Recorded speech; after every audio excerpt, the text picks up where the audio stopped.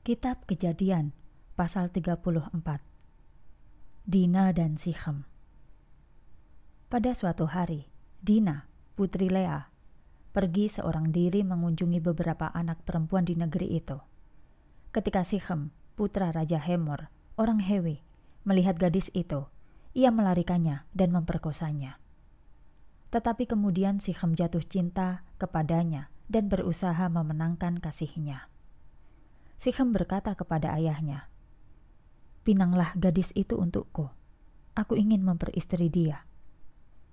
Berita tentang peristiwa itu sampai kepada Yakub, tetapi putra-putranya sedang berada di padang menggembalakan ternak mereka. Yakub tidak berbuat apa-apa tentang soal itu sampai mereka pulang. Sementara itu, Raja Hemor, ayah Sichem, datang menemui Yakub untuk berbicara dengan dia ia datang pada waktu putra-putra Yakub baru pulang dari padang. Mereka juga telah mendengar tentang peristiwa pemerkosaan itu. Mereka sangat terkejut serta marah sekali dan tidak dapat meremehkan hinaan semacam itu karena peristiwa itu mempermalukan mereka semua. Hemor berkata kepada Yakub, Sichem putraku benar-benar mengasihi putrimu dan ingin memperistrinya. Izinkanlah dia menikah dengannya di samping itu, kami mengundang kalian untuk tinggal di tengah-tengah kami dan mengizinkan putri kalian menikah dengan putra kami. Kami juga akan membolehkan putri kami diperistri oleh putra kalian, dan kalian boleh tinggal di tengah-tengah kami di mana saja kalian suka, dan berdagang dan menjadi kaya.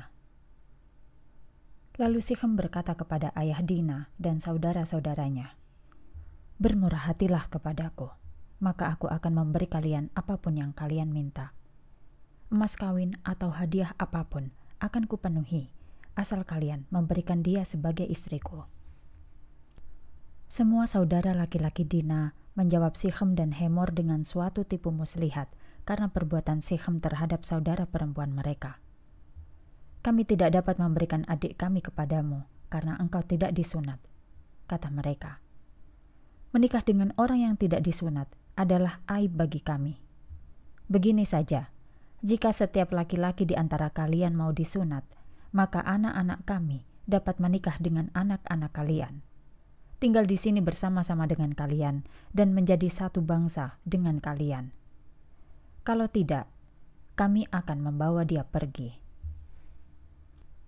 Dengan senang hati, Hemor dan Sichem menyatakan setuju dan segera berusaha melaksanakan permohonan itu karena Sichem sangat mencintai Dina.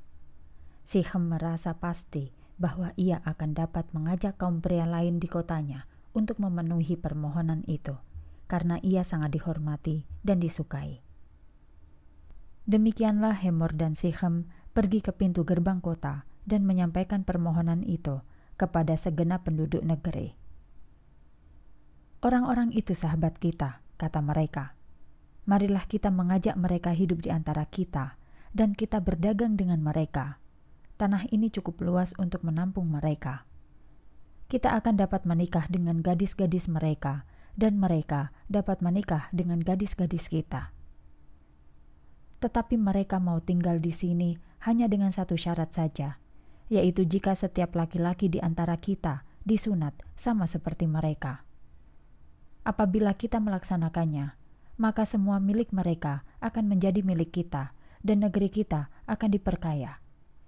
Marilah kita menyetujui syarat ini, supaya mereka mau hidup di antara kita. Semua laki-laki setuju, dan mereka disunat.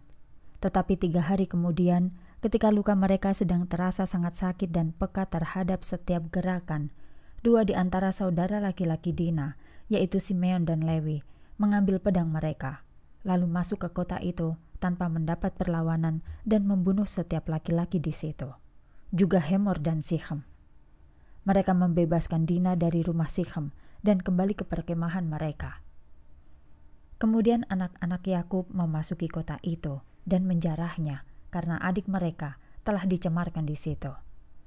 Mereka merampas semua kambing domba, lembu sapi, serta keledai, dan segala sesuatu yang dapat dirampas yang ada di dalam kota maupun yang ada di padang.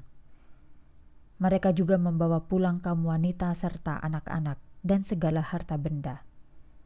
Yakub berkata kepada Lewi dan Simeon, Kalian telah mengundang malapetaka dengan membusukkan namaku di antara semua orang Kanaan dan orang Feris, penduduk tanah ini. Jumlah kita kecil. Kalau mereka datang menyergap kita, maka kita semua akan tertumpas. Tetapi mereka menjawab, Pantaskah ia memperlakukan adik kami seperti seorang perempuan pelacur